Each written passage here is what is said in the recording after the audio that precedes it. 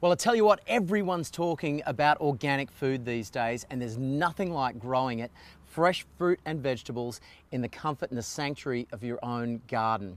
It's taking the power back into your own hands, controlling the food that goes into your children's mouths, reducing pesticides and herbicides, and having this lovely fresh produce at your fingertips for free every day. This is edible garden design. This will teach you to be creative with edible plants. So it's parsley makes fantastic borders. Peaches, pears, citrus makes fantastic hedges. And then of course blueberries make great borders.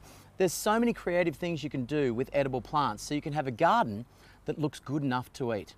Edible garden design, it's out right now. You've got to grow your own.